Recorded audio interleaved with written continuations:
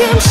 생각이 많아지는 밤이면 괜히 스쳐가는 너 때문에 울컥하지만 그때 좀 더 내게 잘했음 어땠을까